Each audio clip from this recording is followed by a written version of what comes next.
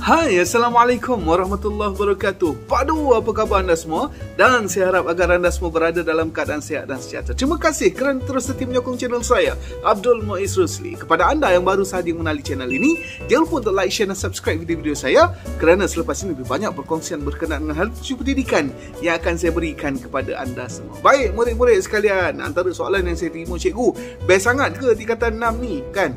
Uh, apa kelebihan tingkatan 6? Nah, saya akan kongsikan kepada anda beberapa kelebihan tingkatan 6 supaya anda rasa macam telio sangat kan nak masuk ke tingkatan 6. Baik, yang pertama sekali, tingkatan 6 ini anda akan terus sambung ijazah. Ha, daripada lepas SPM masuk ke pra universiti tingkatan 6 kita ambil STPM kemudian terus sambung ke ijazah. Kemudian masanya pula tak lama, hanya 3 semester sahaja, lebih kurang dalam setahun setengah.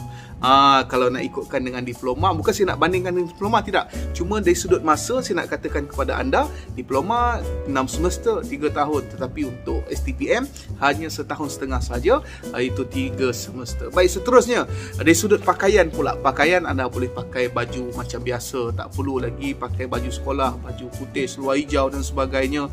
Boleh pakai baju raya boleh pakai baju kurung yang cantik-cantik kan?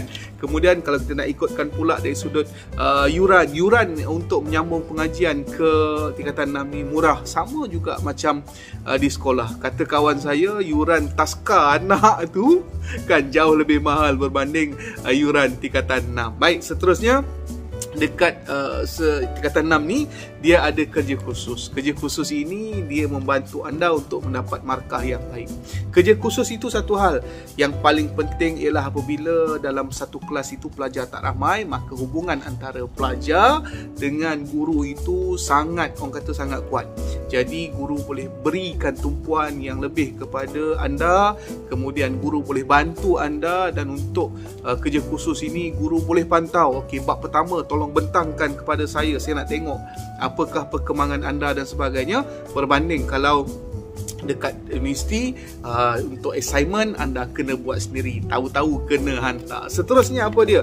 Uh, kita nak bercerita pula tentang uh, peluang ke IPT uh, kalau kita nak ikutkan peluang ke IPT insyaAllah nak kata lebih cerah tu pun mungkin ya. Nak kata lebih baik tu pun mungkin ya tapi taklah ni orang kata apa uh, 100% tapi insyaallah jika anda dapat keputusan yang okey kan yang baik 3 poin ke atas dan insyaallah uh, anda memilih pula kursus yang sesuai maka peluang anda itu insyaallah akan akan mudah untuk dapat masuk ke universiti. Kemudian uh, dari sudut uh, pengiktirafan dia setaraf dengan diploma dan yang paling menarik sekali ialah kalau ada subjek yang gagal ataupun subjek yang anda rasa macam tak puas hati kerana pointernya kurang, anda boleh baiki semula. Nampak tak?